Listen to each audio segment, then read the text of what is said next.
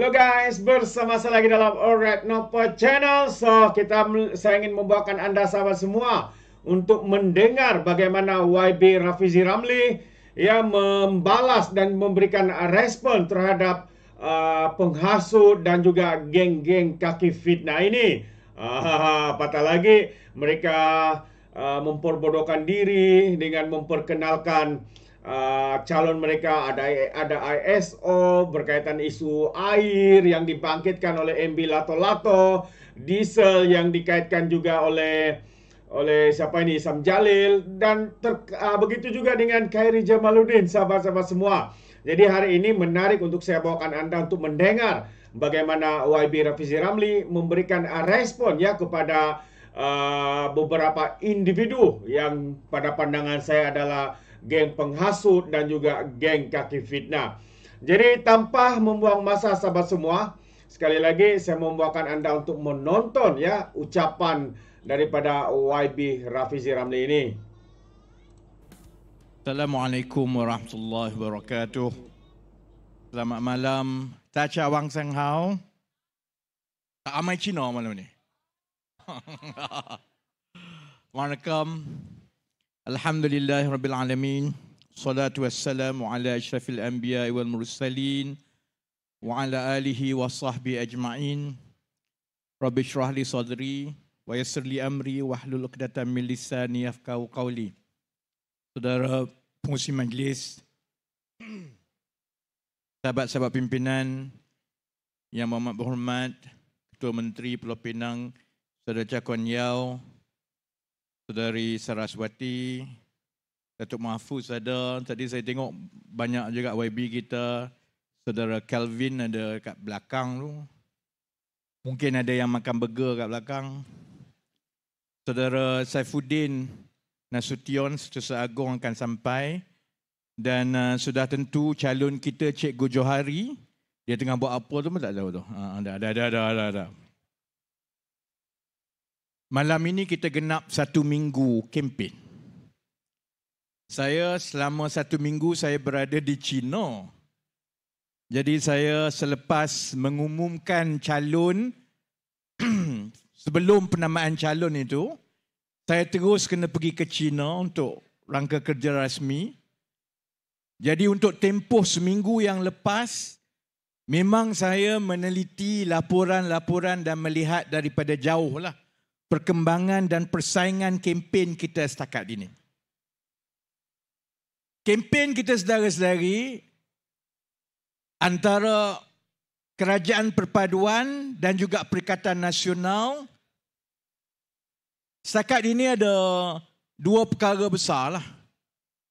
Satu soal calon, satu lagi segala maki hamun yang dikenakan terutamanya Datuk Seri Anwar Ibrahim. Malam ini oleh kerana saya akan mula tiap-tiap hari, saya balik hari Khamis hari itu. Jadi Sabtu, Ahad dan sampai minggu depan saya akan terus berkempen di sini. Jadi seperti biasa kita nak mula, kita kena imbas balik kat mana kedudukan kita. Kita mula soal calon. Di sebelah Kerajaan Madani kita ada Cikgu Johari, yang saya tak payah huraikan, semua orang tahu dia cikgu yang lama berkhidmat di sini. Bukan saja jadi cikgu kepada anak murid, dia jadi cikgu kepada cikgu. Jadi saya tak nak sebut panjang itu. Saya nak sebut yang saya tengok daripada jauh tentang lawan dia, iaitu saudara Abidin kan? Abang Bidin, Abang Bidin. Saya duduk jalan-jalan, ah oh, tu Abang Bidin. Ha. Sebab saya nak beritahu saya duduk jalan-jalan belum jumpa lagi Abang Bidin. Malam ini saya ceramah Abang Bidin tengah senyum buat saya. Baik.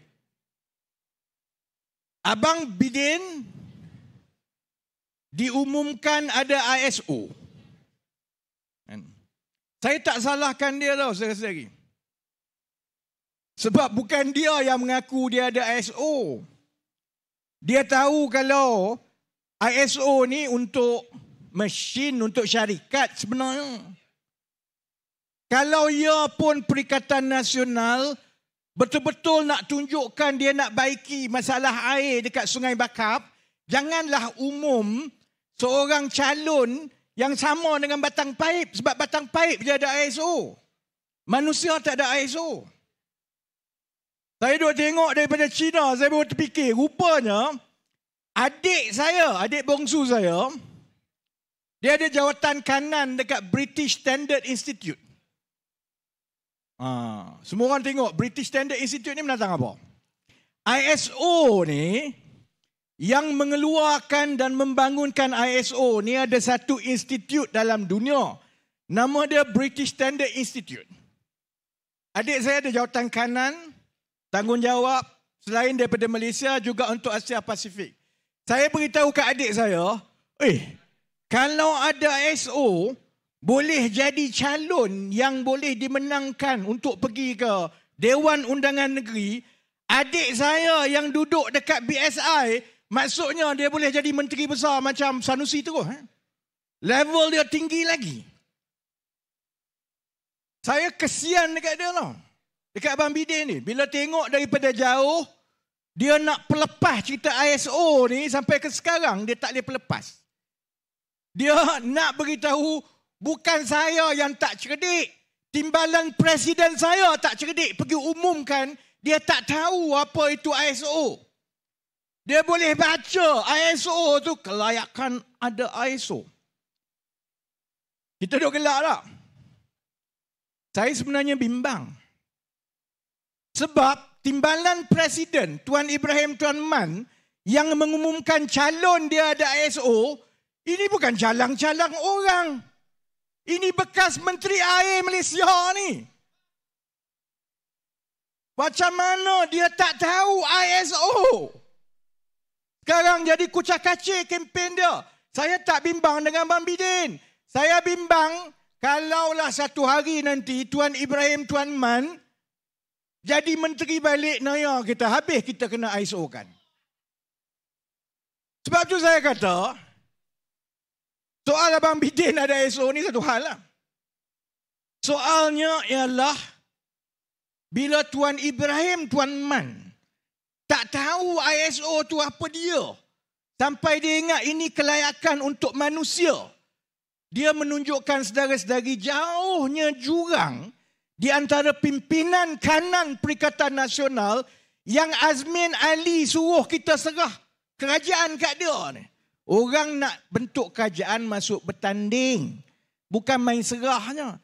Dulu kalau kalau masa Azmin dua tiga minggu lepas suruh serah kerajaan kepada Perikatan Nasional, Kod Datuk Seri Anwar nak pertimbang saya tak tahulah. Sekarang confirm tak pertimbang lah.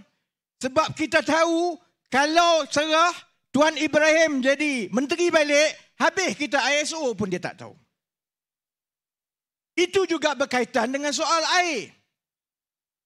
Saya tahu Habib Chow dah sebut banyak, Akmal dah sebut banyak. Nah, baik, cuba kita tanya. Yang jadi menteri air ni dulu siapa? Bukan Pakatan Harapan, bukan Barisan Nasional, bukan kita daripada Kerajaan Madani. Menteri air ni Tuan Ibrahim, Tuan Man. Jadi kalau kita tahu Sungai Bakap ni yang sekarang ni kononnya dia jadikan isu. Oh, suruh lawan kerajaan. Jangan undi calon cikgu Jo kita sebab kononnya masalah air tak diselesaikan. Oi, itu masalah kau lah dulu. Kau yang menteri air. Sebab sekarang kita tahu, seperti yang kita dah umumkan berkali-kali, masalah air di Sungai Bakap bukan masalah Sungai Bakap sahaja. Ini masalah utara semenanjung. Sebab air bukan saja soal paip, Masalahnya ialah kerana sumber air dah tak ada. Orang makin ramai. Orang kerja makin banyak. Kilang makin banyak. Bila orang makin banyak, kilang makin banyak, pejabat makin banyak, sungai banyak tu. Ya. Ada, sedara-sedari pernah tengok, kita bangun pagi-pagi, ada sungai beranak, beranak baru, ada sungai baru, ada. Mana ada sungai beranak? Sungai kalau ada sungai banyak tu, banyak tu lah. Dahlah sungai banyak tu. Kemudian makin lama dia makin Allah, orang Terengganu kata makin toho. Kalau orang Penang kata apa makin toho ni? Cet, oh cetek. okay. Dia makin lama makin cetek. Sebab dia punya lubuk tu makin lama ya lah ada benda kotor, pasir, dia mendap. Jadi memanglah kebiasaannya mana-mana bila orang makin ramai, sungai itu makin cetek, air makin kurang. Tambah pula sekarang, makin panas. Bila makin panas, air makin kurang. Jadi isu dia. Dan kita masa jadi pembangkang, kita memang tak tahu. Bukan kerja aku. Masa tu kita duk kerja segala jenis yang rasuah semua ni. Yang bertanggungjawab merancang dan ada kuasa dan ada maklumat semuanya ialah Tuan Ibrahim Tuan Man lah. Kamu tahu bahawa Pulau Pinang tak cukup sumber air. Kamu tahu bahawa Perak Utara tak cukup sumber air. Kamu ada kuasa. Apa kamu buat masa kamu jadi menteri air? Sebab itu sekarang dengan cepat tanpa ada kena-mengena dengan Sukai Bakap pun. Kita dah tengok daripada tahun lepas, kita dah tengok masalah air di Pulau Pinang, masalah sampai ke utara Perak. Bahawa kalau kerajaan persekutuan tidak campur tangan, masalah air ini akan terus berlarutan. Kalau ikut otak Sanusi, senang. Sebab dia kata ini bukan masalah Chow Kuen Yao, ini bukan masalah dia, ini masalah air. Air itu sendiri. Sebab air itu bila dia masuk paip tak. Dia lalu macam fikir dia paip tak. Dia masuk dalam paip tu air. Dia lalu, lalu, lalu, lalu. Dia pergi paip ni. Dia tengok eh rumah ni orang ni Cina. Jadi tak nak masuk ah. Dia pun putih balik. Eh terbalik, terbalik, terbalik, terbalik.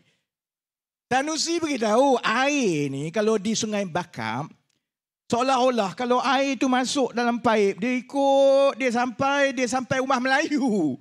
Dia tengok rumah Melayu nak keluar je paip, dia kata, ah ni Melayu, tak boleh, tak boleh. Dia pun patah balik. Patah balik masuk paip, pusing. Dia jumpa rumah Cina, dia pun keluar. Ha, itu kalau ikut kepala otak Sanusi lah.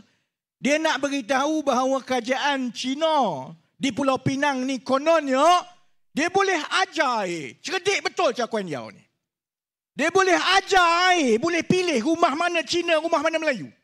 Mana yang Cina, kamu keluar. Yang Melayu, kamu jangan. Tak mandi orang Melayu, gara-gara air cerdik. Itu kepala otak Sanusi lah. Tapi kita semua tahu, masalah sebenarnya ialah kerana air tak cukup. Dan untuk kita menyelesaikan masalah ini, memerlukan peruntukan besar daripada kerajaan persekutuan. Sebab kita kena bawa air daripada sungai Perak. Sungai Perak tu dekat mana? Nu dekat Kuala Kangsar tu. Macam mana bawa air? Kena buat paip. Kena letak pam.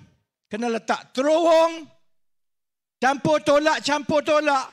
Kita kira-kira kerajaan perlu membelanjakan 4 bilion ringgit untuk menyelesaikan masalah air. Jadi kalau tak ada sungai bakap pilihan raya kecil pun masalah air itu akan tetap selesai. Saya alu-alukan ketibaan uh, Datuk Saifuddin Nasution Ismail. Kalau sebelum ni ada menteri dalam negeri depan saya tengah berucap aku keceperut dah. Sure kena tangkap lepas ni. Baik ya. Cita air ni. Balik kepada cita air Abang Bidin dengan Tuan Ibrahim ni. Ya. Kalaulah contohnya Perikatan Nasional jadi kerajaan 33 bulan. Kalau dia dah buat keputusan dulu lagi. Berhutang dia berhutang. Wang dia ambil. Tapi kita tak nampak, tak tahu bagaimana wang itu. Dan dia sebagai menteri air sampai ke sudah tak selesai masalah itu. Tak sampai satu tahun kerajaan Mandani ambil alih tanpa ada pilihan raya kecil Sungai Bakap pun. Yalah saya nak buat macam mana Anwar Ibrahim suruh kan. Aku tak setuju ke setuju ke kena ya je lah. Anwar Ibrahim kata ada masalah air di utara. Anwar Ibrahim kata ni tak boleh selesai sama negeri ni. Persekutuan kena masuk. Saya sebut dia lah kalau persekutuan kena masuk kita kena bayar. Bayar tu bukan sikit 4,000 juta. Dia kata kena buat. Jadi ini yang berlaku lama dah. Saya ingat awal tahun lagi semasa kita melihat keseluruhan masalah bekalan air di Malaysia.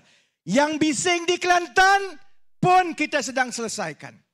Yang tak bising sangat sebelum ini di utara tapi berlaku pun kita telah buat peruntukan. Jadi saya nak tanya, ni dalam tempoh habis minggu pertama ni, saya nak tanya, jangan tanya Abang Bidin lah, kesian kat dia, dia ISO. Kita tanya tokek ISO yang tolong umumkan ni, Tuan Ibrahim, Tuan Man. Kau jadi korang yang masa jadi dalam kerajaan, eh, yang kamu kawal duit banyak, yang kamu peruntukkan untuk jana wibawa, yang kamu tutup parlimen supaya orang tak boleh tanya, kenapa kamu Tuan Ibrahim Tuan Man, timbalan Presiden PAS, Menteri Air, kamu tak tolong penduduk-penduduk kat sini. Sekarang baru nak datang jadi penghasut. Baik eh? Saya tengok lepas 2 3 hari daripada China ni, saya tengok bila cerita ISO ni makin lama makin makin besar, makin besar lah. Saya dari jauh tu kalau boleh nak buat TikTok juga nak beritahu bukan salah Abang Bidin. Salah Tuan Ibrahim. Sebab Tuan Ibrahim ni terlalu cerdik. Mula dia tak tahu pasal ISO. Lepas tu dia cerita pasal saya tak tahulah ceramah zaman bila tapi duk viral TikTok beritahu sedihnya dia jumpa pak cik tengah tarik motor ni sebab motor habis minyak. Ha, dia beritahu tanya pak cik sebab apa ni? motor, oh, motor habis minyak. Nak beritahu lepas kerajaan naikkan kononnya harga diesel ni teruknya rakyat sampai isi minyak motor pun tak boleh. Aku tengok juga dia ni duduk kat zaman mana ni? Minyak ma- motor mana pakai diesel ni? Ada orang kat sini pakai, ah, kecuali pakai motor yang besar macam lori lah kau tak? Motor mana dia pakai diesel? Motor pakai petrol, Pak Cik. Motor sekarang kalau hebat, bukan saja petrol. Orang dah tak pakai pun petrol, diesel petah lagi lah. Orang pakai EV lah sekarang. Jadi saya memang nak beritahu daripada jauh. Sebenarnya janganlah marah kat Abang Bidin. Dia bukan tahu apa sangat pun yang salah timbalan presiden dia. Tup-tup dua tiga hari lepas tu, Mursyidul Am dia pula beritahu. Mursyidul Am dia kata, sebab Sanusi dok beritahu ni, orang cerdik ni bukan boleh jadi pemimpin sangat pun. Dalam PAS boleh lah. Dalam parti lain tak boleh. Kalau kurang cerdik, macam mana nak jadi pemimpin? Sebab bila menjadi pemimpin, duduk di jawatan kerajaan, isu dia bukan cerita nak isu selesai ISO ni. Isu dia nak selesai masalah air, masalah hutan, masalah ekonomi, segala masalah yang rumit ni. Tapi Hashim Jasin beritahu, dia jawab apa yang Sanusi sebut, sebab dia tak boleh nak jawab. Calon kita Cikgu Jo ada PhD, dia tak boleh nak jawab.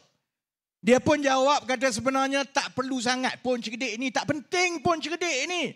Hashim Jasin sambung lagi, cerdik tak cerdik tak penting. Yang penting kita boleh percaya dekat dia. Percaya dekat calon. Dia nak beritahu, Cikgu Johari ni tak boleh percaya orang-orang walanun ni tak boleh percaya. Dia kena percaya orang walaun. Ha. Jadi antara walanun sebelah kita dengan walaun sebelah dia, dia nak beritahu tak cerdik pun tak apalah. ISO pun ISO lah. Asalkan sebab dia tu daripada kami dan maka dia boleh dipercayai lagi. Baik. Saya nak beritahu kepada Hashim Jasin lah, dan juga kepada pimpinan Perikatan Nasional. Rakyat perhatikan kita.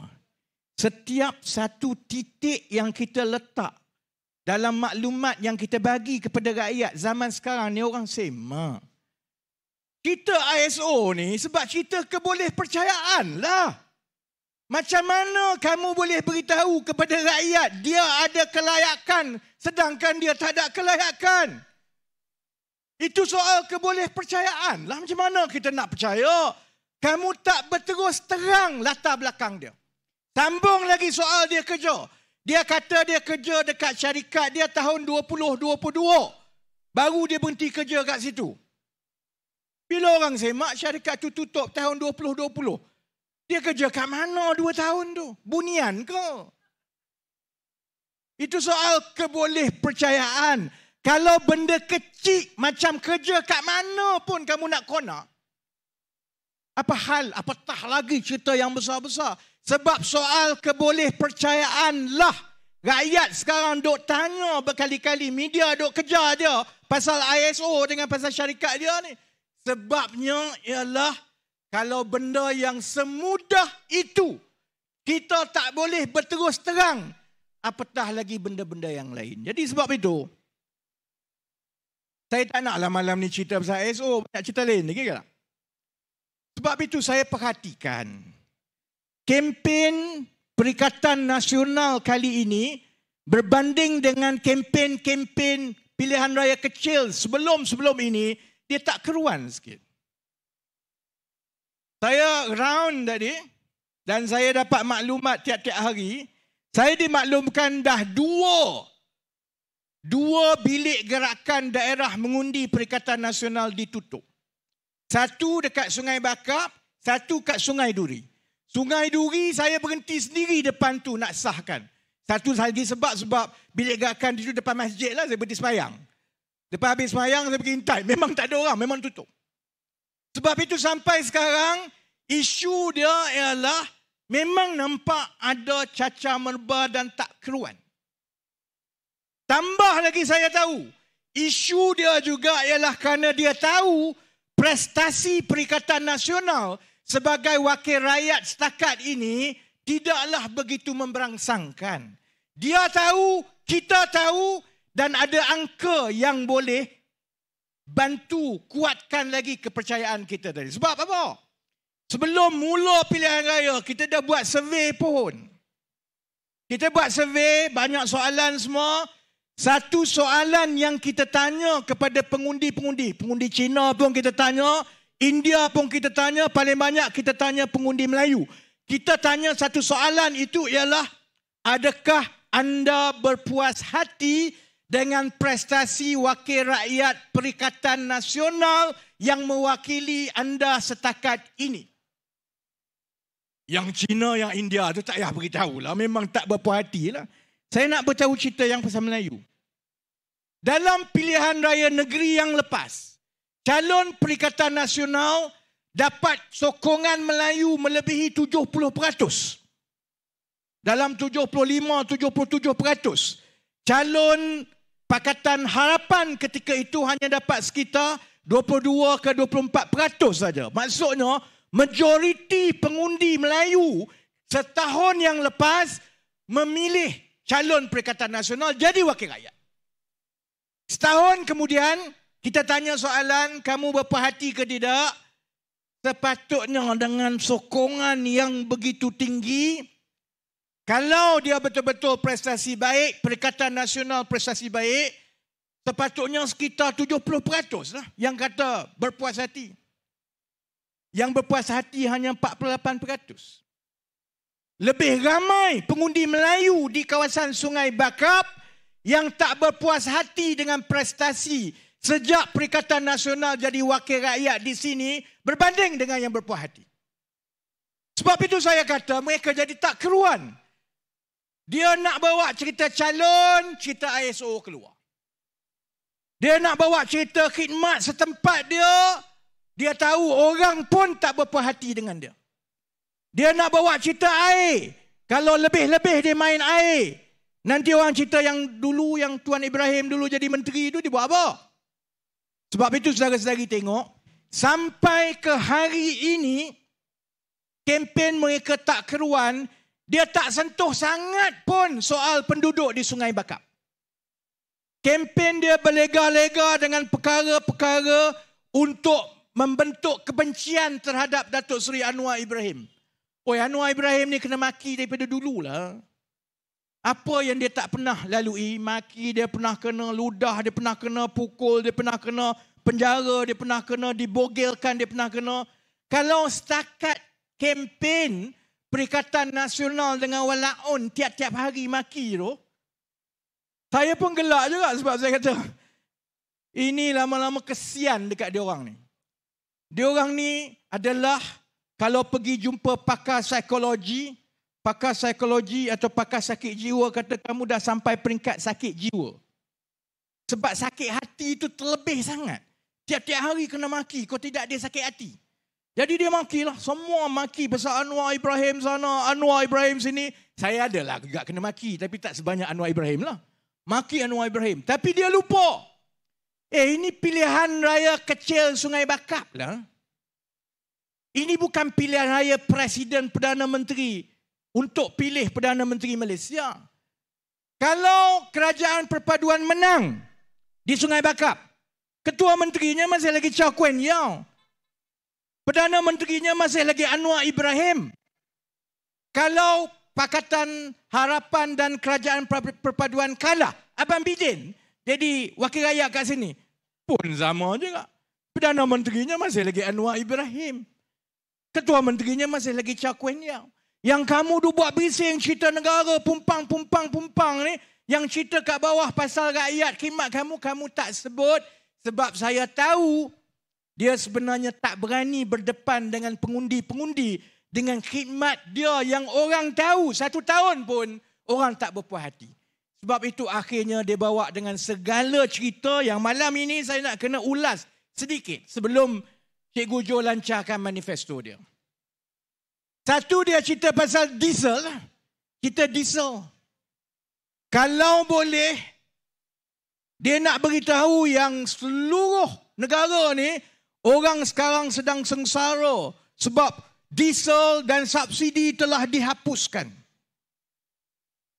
Kita dah beberapa kali beritahu subsidi tak dihapuskan. Subsidi dialihkan. Subsidi ditarik daripada orang yang menyeleweng, orang yang tak layak dapat diberikan kepada orang yang memerlukan, sektor yang memerlukan. Baik eh? Sebelum kita sampai ke situ tak, saya simpan satu statistik ini untuk nak tunjukkan kepada rakyat yang hadir dan yang mendengar. Orang duk beritahu, Mahathir lah, Tuan Mahathir dia beritahu, dia kata, memanglah sebenarnya sebelum ini setiap Perdana Menteri tahu bahawa penyasaran subsidi ini perlu dibuat. Tetapi oleh kerana Perdana Menteri-Perdana Menteri sebelum ini sayangkan kepada rakyat. Tak sampai hati, maka dia tak buat. Ha. Sebab tu dia kalah deposit dekat Langkawi. No? Dia tak cerita benda yang sebenar. Berapa jumlah subsidi minyak diesel dengan petrol tahun lepas yang kerajaan persekutuan kena tanggung? 2023. Lebih kurang 52 bilion. Tahun 2015 yang masa kita orang bangkang, saya bangkang, jangan ambil subsidi. Masa itu bila harga diapungkan, berapa jumlah subsidi yang ditanggung oleh kerajaan masa itu? Tahun 2015. Boleh sempat Google lagi, sempat Google lagi kalau nak check. Satu bilion, saudara-saudari. Satu bilion. 2015, satu bilion. Sebab itu saya tanya kepada kepimpinan masa itu, Eh, satu bilion takkan kamu tak nak tanggung? Kalau satu bilion ni, kita jimatlah mana yang lebih. Boleh lagi bagi kepada rakyat. Kerana satu bilion itu dalam jangkauan dan kemampuan kita daripada kita menaikkan harga minyak dan diapungkan. Kerana kesan dia itu besar pada rakyat. Memang betul. Masa itu satu bilion. Masa itu harga minyak berapa saudara-saudari? Berapa? Dalam 30 dolar, 20 dolar ke 30 dolar je. Sebab itu masa itu tanggungan subsidi kerajaan hanya 1 bilion. 2016 lebih kurang 5 bilion. 2017 dia naik lebih kurang 6 bilion. 2018 7 bilion. 2019 turun balik kepada 6 bilion. 2020 dia turun kepada 550 juta je. 2021 naik saya ingat sekitar 3-4 bilion. 2022 zaman Muhyiddin masa tu ialah zaman PN lagi lah. Dia dah naik kepada 22 bilion. Nampak tak beza dia? Kalau jumlah subsidi itu harga dia 1 bilion setahun, 4 bilion setahun, 5 bilion setahun. Kita tak ada lah buat bising, masih ditanggung. Sekarang ni pun subsidi elektrik ini lebih kurang 6 bilion setahun. Kita tanggung. Subsidi macam-macam yang lain, kita tanggung. Sebab masih lagi dalam kemampuan dan jangkauan kita. Tapi kalau dah 52 setahun, 52 bilion setahun, bayar bunga 45 bilion setahun. Jadi kita kena buat pilihan. Pilihannya adakah lebih baik kita bawa perubahan dalam sistem kita mengagihkan wang rakyat supaya mereka yang menyeleweng, mereka yang tak patut dapat, wang ini kita ambil dan kita alihkan. Ada yang dapat bulan-bulan, kita bagi bulan-bulan. Ada yang dapat dalam bentuk peruntukan untuk baiki air, kita bagi peruntukan baiki air. Sebab sampai bila kita nak habiskan sampai 50, 60 bilion setahun Sedangkan hospital makin terbengkalai. Jalan makin berlubang. Sekolah tak cukup saudara-saudara. Sebab itu bagi mereka yang semua ni, Perikatan Nasional yang bising-bising itu dia tahu. Dia jadi kerajaan sebelum kami jadi kerajaan. Dia tahu angka ini. Tapi dia tak beritahu kepada rakyat. Dia lebih rela berbohong kepada rakyat. Sebab itu saya kata soal ISO tak ISO, soal diesel, ini soal keboleh percayaan. Kamu tak beritahu kepada rakyat bahawa kalau kamu jadi kerajaan pun sekarang, kamu kena fikir juga macam mana nak tutup sampai 50-60 bilion setahun ini. Baik, orang tanya lagi. Tapi yang ini yang cerita penyeludupan-penyeludupan ni betul ke? Dulu zaman YB dulu masa jadi pembangkang, YB gelak je kata Takkanlah nak naikkan harga sebab penyeludupan. Itu tahun 2015, saudara-saudari. Tahun itu subsidi 1 bilion setahun. Cerita penyeludupan tak sebesar sekarang. Kita mula nampak cerita penyeludupan ini bila kita tengok data dan juga angka subsidi daripada tahun 2019 hingga 2022. Bila kita tengok pertambahan jumlah kenderaan diesel daripada 2019 ke 2022 naik 4% je. Memang betul lah mana orang kita pakai diesel. Pick up truck tu je lah. Yang lain tu pertanian, lori tu dia bukan takkan pergi hantar anak sekolah pakai lori trailer kot. Tak ada. Jadi memang jualan kereta atau kenderaan diesel dia lebih kurang naik 4% je. 2019 2022 naik 4% je. Subsidi diesel naik banyak mana? 40% saudara-saudari. 40%. 10 kali ganda bila kita tengok antara kenaikan jumlah kenderaan dengan jumlah yang kerajaan kena bayar kepada syarikat-syarikat minyak. 40%. Kita tahulah ini memang bukan pertambahan ini disebabkan oleh pertambahan penggunaan rakyat biasa ini adalah disebabkan oleh penyelewengan, ketirisan, penyeludupan. Ada lagi orang tanya, eh tak nampak pun lori dengan kapal duk pergi ke Thailand semua ni. Saya dah sebut sebelum ini, penyeludupan yang besar ni ada beberapa bentuk. Satu yang rentas sempadan. Satu yang di tengah laut. Tak percaya tanya Datuk Sri Saifuddin lah. Agensi penguat kuasa Maritime Malaysia, APMM, bawah dia. Mereka tahulah. Saya tiap-tiap tahun terpaksa berdepan dengan permintaan APMM minta kapal lebih. Tak cukup kapal ni, nak kapal lagi. Duit tak ada, aku pun banyak nak bagi kapal ni. Memang kapal tak cukup. Kerana penyeludupan memang banyak berlaku di tengah laut. Kita tahu, Perikatan Nasional tahu. Dia pun tahu sebelum ini. Tapi dia tak cakap kepada rakyat. Dan satu lagi bentuk penyelewengan dan ketirisan yang besar berlaku ialah yang melibatkan di dalam negara apabila industri-industri yang sepatutnya tak dapat, tak layak dapat subsidi, diambil subsidi. Contoh apa dia? Pembinaan. Mesin semua ni, lori untuk industri pembinaan semua, memang kena bayar harga harga biasa lah. Dia jual rumah kat orang, dia buat duit daripada tu. Kalau pengangkutan ni kita bagi subsidi, fleet card semua sebab kita tak nak harga barang ni tu akhirnya terkesan atas dasar minyak lori saya nak hantar tiap-tiap hari ni naik, maka saya kena naikkan harga. Rumah semua ni bukan orang beli tiap-tiap hari. Margin dia ada. Jadi dia sepatutnya kena beli diesel seperti syarikat-syarikat biasalah. Sebelum ini memang berlaku ketirisan yang mana orang menggunakan diesel pump yang subsidi tu RM2.15 dia pergi jual kepada industri. Baik eh? Kalau orang tak percaya, data terkini mengesahkan benda ni boleh berlaku. Macam kenapa kita cakap macam itu? Karena dalam tempoh ni lebih kurang dua minggu lebih, kerajaan menaikkan harga diesel kepada harga yang sepatutnya mengikut harga pasaran. Urus niaga dan pembelian diesel di sempadan telah jatuh 40%. Dan kita tahu, sebab itu kalau ada orang tanya saya, tadi ada abang kat belakang tanya saya, YB sebenarnya kita duk kata ketirisan-ketirisan ini, berapa sebenarnya ketirisan?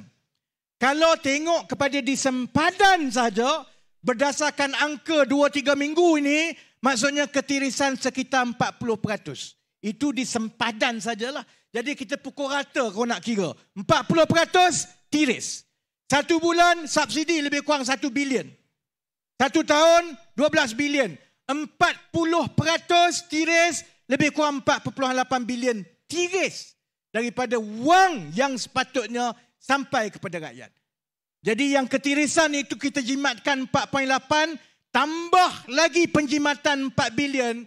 InsyaAllah saya rasa kita ada cukup sebab itu kita yakin untuk Pulau Pinang tanpa ada pilihan raya ini pun kita yakin bahawa kita nak buat sistem air untuk utara kita boleh cari duit. Kita nak perbaiki kedudukan dan juga arus lalu lintas di lebuh raya utara selatan dengan buat lebuh raya bertingkat insya-Allah kita boleh cari duit. Sebab saya tahu daripada survey penduduk-penduduk di sini selain daripada masalah air satu lagi masalah yang paling banyak komplain adalah masalah jalan. Uh, CM, uh, penduduk Sungai Bakap selalu komplain pasal jalan. Cuma kita tahu masalah jalan ini dia bukan soal jalan dalam Sungai Bakap saja. Kalau kita tar cantik-cantik licin pun, kita buat besar sikit pun, kalau tak selesai kesesakan di juru, jadi masalah yang sama. Sebab dia nak masuk lebuh raya tu dia dah jam. Bila dia dah jam, jam dia tu melimpah sampai ke dalam ni. ni. Orang nak keluar ni kena beratur lama. Jadi bila beratur lama, buat jalan licin macam mana pun tak ada lubang pun tak bergerak jugalah. Jadi sebab itu, saya minta kerajaan Pulau Pinang tengok kerajaan Pulau Pinang tumpu jalan di dalam. Kami kerajaan persekutuan tumpu jalan di luar. Di lebuh raya utara selatan. Bila kita perbaiki insyaAllah yang itu lancar, jalan di dalam ini lancar, dua masalah utama yang disuarakan oleh penduduk-penduduk Sungai Bakap, insyaAllah akan selesai. Baik, eh? ha, itu cerita minyak. Eh. Saya tak boleh kalau saya tak ulas cerita Black Rock. Alright guys, so itu dia satu pencerahan yang begitu baik sekali ya daripada YB Rafizi Ramli ya berkaitan dengan isu-isu yang dimainkan oleh pembangkang dimainkan oleh siapa ini? Tuan Ibrahim timbalan Presiden PAS dimainkan oleh Sanusi dimainkan oleh ISO dan ramai lagi lah pimpinan ya daripada Perikatan Nasional PAS. Jadi sebentar tadi kita boleh melihat ya bagaimana Isam Jalil juga ya turut menyentuh berkaitan dengan penyeludupan ketirisan minyak uh, minyak diesel dijual di tengah laut dan sebagainya. Beliau mengetawa mentertawakan ya apabila YB Rafiz Ramli membuat pencerahan ya berkaitan dengan isu ini. Jadi jelas sahabat semua eh seperti mana yang dinyatakan oleh YB Rafiz Ramli 40% ya sejak dua minggu ini selepas minyak diesel subsidi itu disasarkan 40% berkurangan. Uh, jadi jelas 40% itu maksudnya dibeli oleh orang luar. Jadi maksudnya kerajaan rugi membayar subsidi dan orang luar ini mengambil membeli minyak kita lalu dijual di negara mereka. Jadi inilah sebenarnya yang dilakukan oleh kerajaan kita menyasarkan minyak diesel ini kepada yang mereka yang memerlukan. Kepada petani, kepada nelayan, kepada pengusaha bas, sekolah dan mereka-mereka pengusaha uh, perniagaan kecil dan sebagainya diberikan flat card, diberi individu pula diberikan bantuan uh, bantuan 200 sebulan dan sebagainya. Jadi sudah terbukti bahwa apa yang berlaku itu adalah satu yang nyata walaupun ya pihak pembangkang mentertawakan ya kononnya tidak ada penyeludupan, kononnya perahu kecil diguna, kononnya tidak nampak lori ambil minyak betapa dangkalnya fikiran mereka sahabat-sahabat semua untuk menidakkan perkara itu. Adakah mereka sebenarnya menyokong kepada penyeludupan ini? Menyokong kepada ketirisan ini? Seakan-akan sahabat-sahabat semua. Jadi terima kasih sampai di sini saja. Sekiranya anda memberikan sebarang komen, pandangan, anda boleh berikan di dalam ruangan komen. Jadi terima kasih. Izinkan saya untuk mengundurkan diri dan seperti biasa peribahasa mengatakan tak apa pun kangkap dua tahun keinginan. Dalam bahasa Melayunya, tepuk dada, tanya selera. Sekian saja daripada Alright Nepo Channel. Saya kita berjumpa lagi. Bye-bye.